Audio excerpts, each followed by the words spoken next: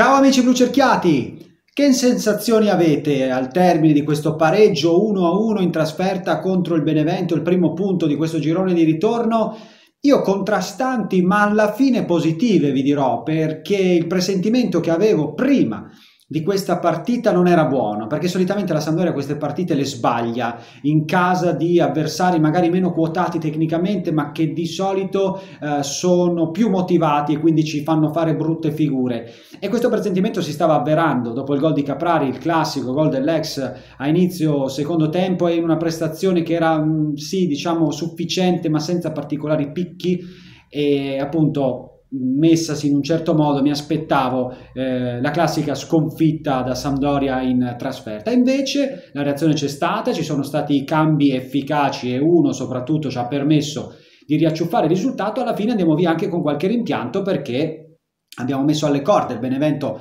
nella parte finale della partita senza però riuscire a trovare il gol che vale. Tre punti. Iniziamo con le pagelle partendo da Emil Laudero che alla fine secondo me merita di portare a casa la sufficienza anche oggi perché è ovvio, è molto grave, è molto evidente il, l'errore sul gol di Caprari. Si, Laudero si fa passare un pallone eh, tra sé e il palo con Caprari che aveva pochissimo specchio e, e quindi pesa l'errore del nostro portiere che però poi si rifà e ci tiene in partita evitando il 2-0 di Lapadula in un paio di occasioni e quindi per me vale la sufficienza.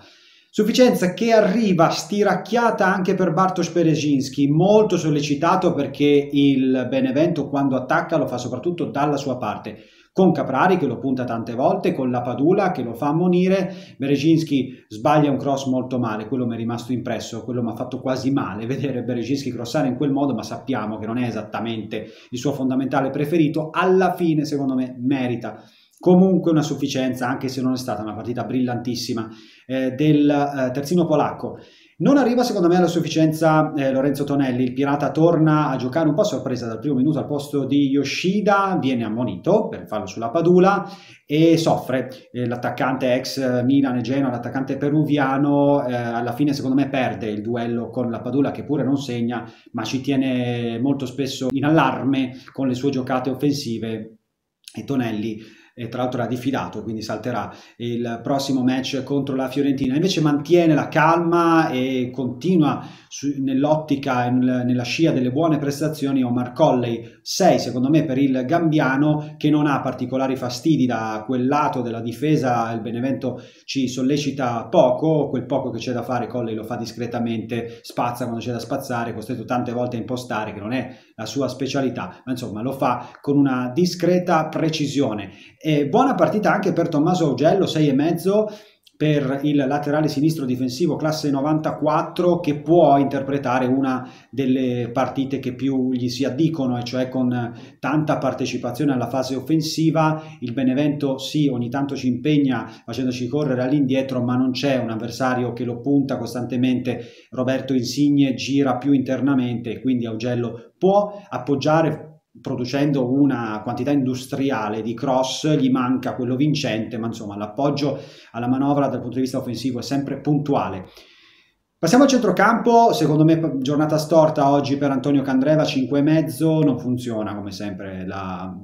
l'intesa offensiva con Bartosz Berezinski, oggi torna a fare il laterale nel 4-4-2 classico di centrocampo, cross che arrivano non particolarmente precisi,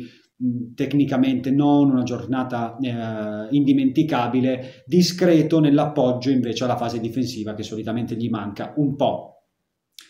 Torsby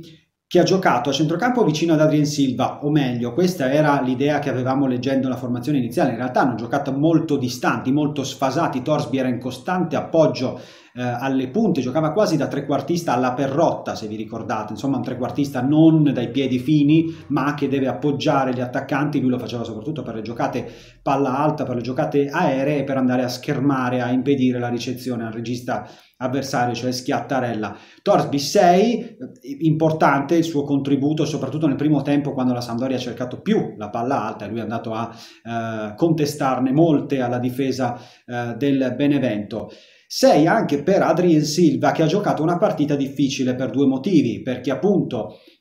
aveva tanto campo da coprire essendo Torsby molto alto che quindi gli lasciava tan- netto compito difensivo da fare. In una di queste occasioni il Benevento riparte nel secondo tempo e lì nasce il gol di Caprari su cui effettivamente siamo molto molto scoperti, difendiamo male e, e Silva in più gioca una partita praticamente caricato da subito di un cartellino giallo per un fallo su Ionita che proprio in una di queste circostanze gli scappa alle spalle, il Benevento aveva un centrocampista centrale e due mezzali e quindi ci poteva mettere in difficoltà su quell'aspetto lì, però è stato bravo Silva a giocare tutta la partita in modo così scoperto a centrocampo e senza in, incappare nella seconda munizione che sarebbe stata letale, devastante per la nostra squadra.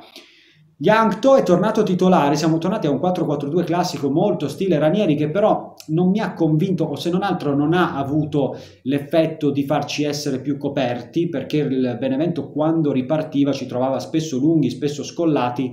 Comunque Yankto è tornato a fare l'esterno a sinistra nel 4-4-2, 5,5 secondo me per il cieco che ha chiuso in crescendo partecipando discretamente ai nostri attacchi finali, ma nel primo tempo ha fatto fatica a essere incisivo, tanti retropassaggi e una, secondo me, cattiva gestione degli spazi lì a sinistra tra lui, Augello e Keita,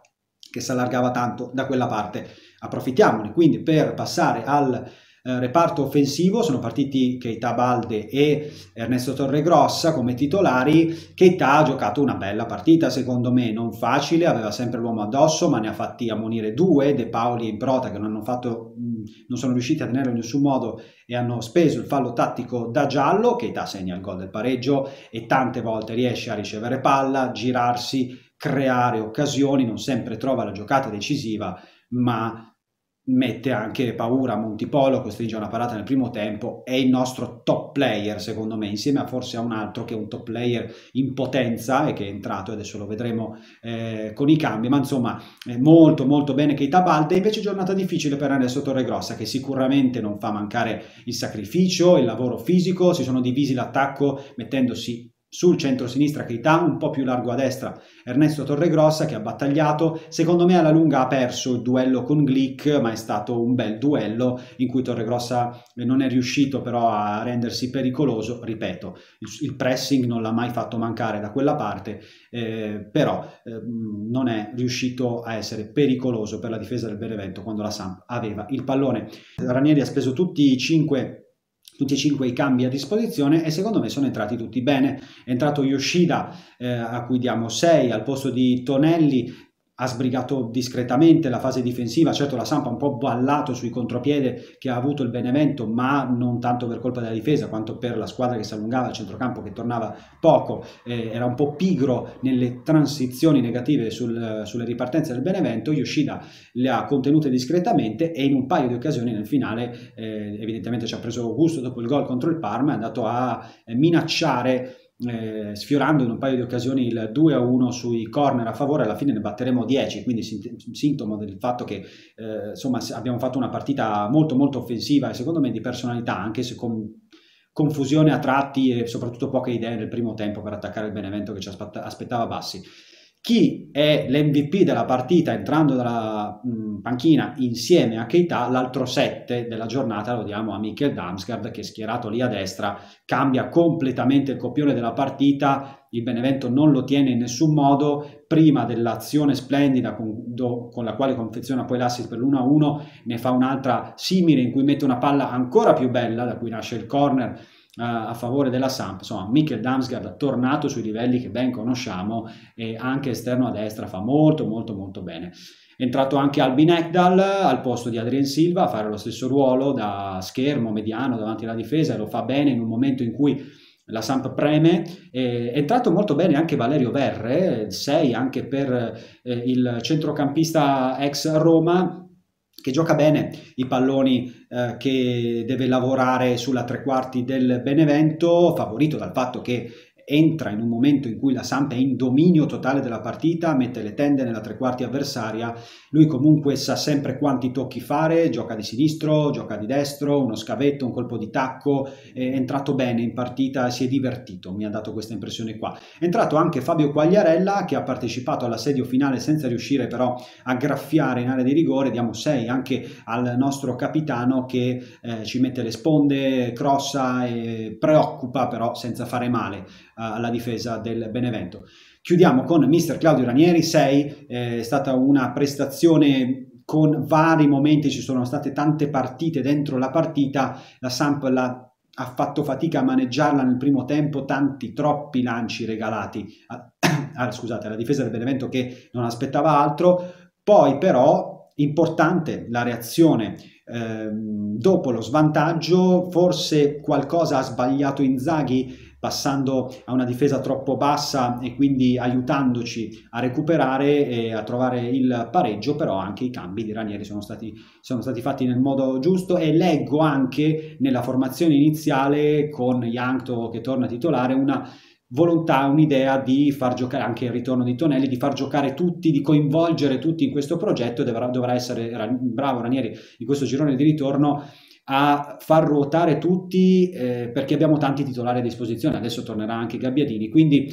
fondamentale se nel girone d'andata Ranieri ha dovuto mettere insieme spesso una formazione facendo i conti con squalifiche, infortuni e assenze, nel girone di ritorno toccando ferro, sperando che restino tutti disponibili, avrà quest'altro tipo di problemi, la scelta eh, di domenica in domenica, di partita in partita, su quale titolare scegliere tra i tanti a disposizione. Aspetto i vostri commenti qua sotto e mi raccomando seguiteci sui nostri canali Twitch, YouTube e Instagram. Ciao!